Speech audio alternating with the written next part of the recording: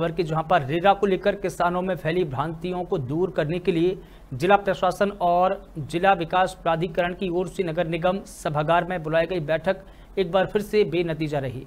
वहीं अब किसानों के साथ विक्रेता, डेवलपर, प्रमोटर, रजिस्ट्रार कार्यालय के बाहर धरने पर बैठ गए हैं। बता दें कि रविवार को भी प्रशासन और किसानों के बीच में करीब डेढ़ घंटे तक बातचीत चली।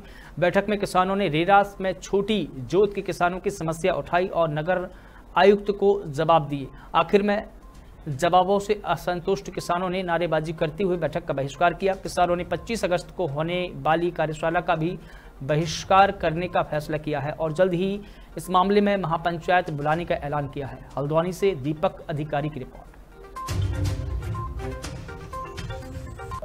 मिलती हुई प्रतीत नहीं हुई है, इसलिए हम लोगों ने उसका बाइकआउट किया है। 25 तारीख की जो मीटिंग है, सरकार की तरफ़ से अगर देखते हैं, उसमें कोई रिलैक्सेशन देने वाली बात और कोई मज़बूत बात ऐसी आती है कि जिससे हमें लगता है कि हमें उससे फ़ायदा मिलता नज़र आएगा सारे किसान भाइयों को। तो ज़रूर उनकी बात आज अर्जुन भाई से समर्थन दे रहे हैं।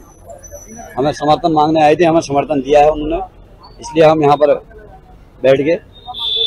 और किसान बड़ा परेशान है, बड़ा उत्पीड़न हो रहा है। इसके लिए हमने जो इसका बहिष्कार करा है, पूरा, लेकिन इसके लिए भी हमने क्या करा है, जो पूरे हमारा नैनीताल जिला, पूरे कुमाऊं के लोगों सब लोग मीटिंगें हो रही हैं, बैठकें अब हमारी हो रही हैं, उसका सिलसिला जारी हो रहा है। और महिलाओं को हम इसमें जो आ रहे हैं, क्योंकि